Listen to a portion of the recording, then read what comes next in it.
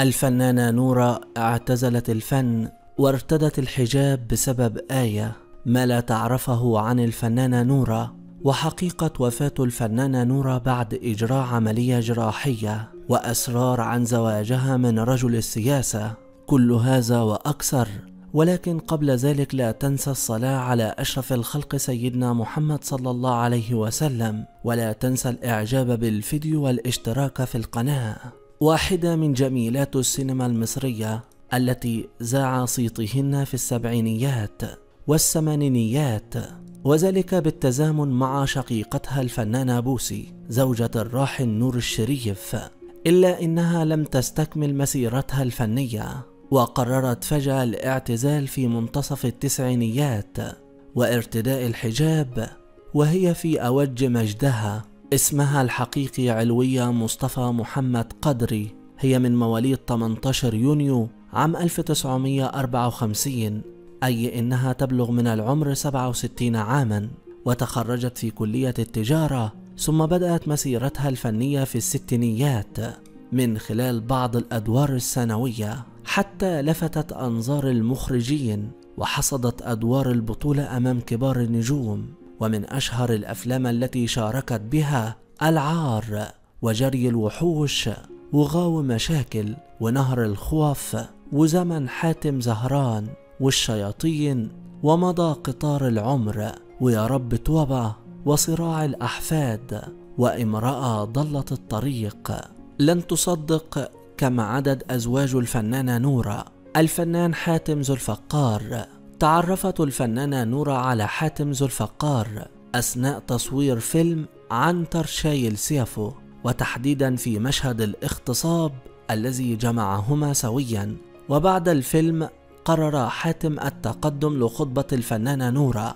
في البداية رفض والد حاتم ذو الفقار الزواج ولكن حاتم أصر. وبالفعل تقدم لخطبة الفنانة نورة التي أعربت أيضا عن حبها له.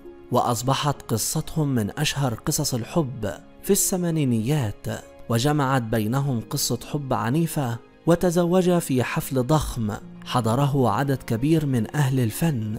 وكان الفنان الراحل نور الشريف شاهدا على عقد القران. أقام حفل الخطبة وسط الأهل والأقارب وبعد فترة عقد حفل الزفاف في قاعة بالمادور بفندق مريديان. بحضور لفيف من نجوم الفن منهم الفنان الراحل نور الشريف والفنان يحيى الفخراني والفنان محمود ياسين والفنان عادل إمام وغيرهم الكثير من النجوم. لكن بعد مرور أشهر على الزواج طلبت الفنانة نور الطلاق. والسبب كما صرحت في أحد الحوارات الفنية إنها اكتشفت شخصية أخرى في حاتم ذو الفقار. غير التي عرفتها منذ الأيام الأولى للزواج وظهر هذا التباعد بينهما. عندما دعمتها الإعلامية سلمى الشماع في برنامجها زوم كأحدث زوجيا في الوسط الفني حاول أفراد الأسرة التدخل لحل المشاكل بين الفنانة نورة والفنان حاتم ذو الفقار. لكن الفنانة نورة أصرت وصرخت وصرحت إنها لا تطيقه ثم طلبت الطلاق. وكادت محاولات الأسرة أن تنجح لكن حاتم ذو الفقار فاجأها بطلب ثمن الطلاق ما جعلها توافق وتصر عليها وبسبب هذه المشكلة ألغي حفل عيد ميلاد الفنان نور الشريف التاسع والثلاثين والسبب الرئيسي لانفصال الفنانة نورة عن الفنان حاتم ذو الفقار هو إدمان الفنان الراحل المخدرات. ولكنه لم يعترف بذلك وقال في لقاء تلفزيوني مع برنامج ساعة صفا أن طلاقه من الفنانة نورة يعود لخلافات عديدة في الآراء والطباع إلى جانب شقيقتها الفنانة بوسي التي أشار إنها من الأسباب الرئيسية وراء الانفصال. هشام طلعت مصطفى وتزوجت الفنانة نورة للمرة الثانية من رجل الأعمال هشام طلعت مصطفى على الرغم من معارضة والده. حينما كان عمره 34 عاما وكانت تكبره هي بثلاثة أعوام ونصف ووفق ما كشفت وثيقة صادرة عن دار الإفتاء المصرية والتي أوضحت أن رجل الأعمال طلق الفنانة نورة ثلاثة مرات وحاول إرجاعها في المرة الرابعة بالذهاب للمفتي إنزاك حسين طنطاوي ولكنه لم يفلح. ويقال أن والد هشام هو من أجبره على تطليق الفنانة للمرة الثالثة وتوثيق الطلقتين الأولى والثانية ولكنه لم يعرف أن ابنه سيقود العائلة إلى ورطة أكبر. تكمن في ارتكاب جريمة قتل المغنية اللبنانية سوزان تميم في شقتها وتكشف الوثيقة الصادرة من دار الإفتاء المصرية أن الحياة الزوجية لم تكن مستقرة بين هشام ونورا. خاصة أن الزواج كان ضد رغبة الأسرة وتحديدا الوالد طلعت مصطفى ومن العوامل المساعدة لارتباك الزواج بينهما. أيضا المزاج المتغير لهشام. يضاف لذلك طبيعة الزواج بين فنانة من أسرة فنية فهي شقيقة الفنانة بوسي وهشام ابن رجل أعمال عصامي فلاح من المنوفية تمرد على الريف وهاجر للإسكندرية تجمعت له الثروة. خطط حياته أن يشاركه أبناءه في تنمية ثروته. ويدرك الأب طلعت مصطفى بحنكة شقاء السنين. وحكمة فلاحي الدلتا أن اللعب في الوسط الفني يمكن أن يهدم كل ما بناه. فالمليارات تضيح تحت أقدام النساء الجميلات.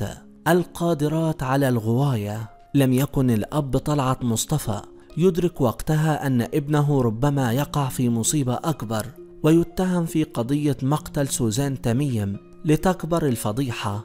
ولا أحد يعلم الحقيقة لأن شخصية هشام طلعت نفسها غامضة تميل للمغامرة وتسعى للتملك وليس العقارات فقط ولكنه تملك من نوع خاص إنه تملك النجوم. بدأت الفنانة نورة حياتها الفنية في سن صغير. في ستينيات القرن الماضي وقدمت بعض الأدوار الصغيرة كالكثير من الفنانات إلا أن بدأت تنهال عليها الأدوار فيما بعد وشاركت كبار النجوم والنجمات البطولة المطلقة. اعتزال الفنانة نورة روت الفنانة عفاف شعيب في حوار صحفي. سابق قصة اعتزال الفنانة نورة في عام 1996 حيث أوضحت أن الفنانة نورة اعتزلت وارتدت الحجاب داخل شقتها. مضيفة أنا كنت متعودة قبل اعتزالي أن نتناوب ختم القرآن الكريم في بيتي مرة وفي بيت كل فنانة من صديقاتي مرة أخرى. المهم كان ختم القرآن ذات يوم في شقتي بالمهندسين وكان القارئ وقتها يتلو قوله تعالى وإذ قالت الملائكة يا مريم ان الله اصطفاك وطهرك واصطفاك على نساء العالمين. يا مريم اقنتي لربك واسجدي واركعي مع الراكعين. في هذه اللحظه صلت الفنانه نوره ووقفت خاشعه كانها تستمع لهذه الايات لاول مره. فاهتزت بشده واحمر وجهها وانهمر سيل الدموع من عينيها. وهي تتابع آيات القرآن التي تتحدث عن السيدة مريم العذراء وتابعت الفنانة عفاف شعيب. قائلة كانت تبكي بصوت مسموع ثم همست وهي تنظر إلينا جميعا وقالت أنا يا جماعة خلاص هعتزل الفن. تداول مستخدمون لشبكات التواصل الاجتماعي صورة حديثة للفنانة المعتزلة نورة التي تخطت سن السابعة والستين من العمر. ونورة من مواليد القاهرة وهي شقيقة الفنانة بوسي حاصلة على بكالوريوس تجارة واعتزلت التمثيل في عام 1996 وارتدت الحجاب بسبب آية قرآنية.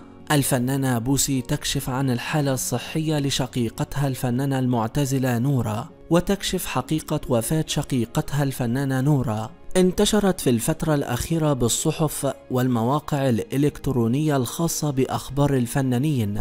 الكثير من الأخبار عن تعرض الفنانة المعتزلة نورة إلى أزمة صحية طارئة فشلت معها الحلول الطبية داخل البلاد مما اضطرها للسفر للعلاج خارج مصر خاصة وإنه في آخر ظهور كانت تبدو في حالة من الزيادة في الوزن.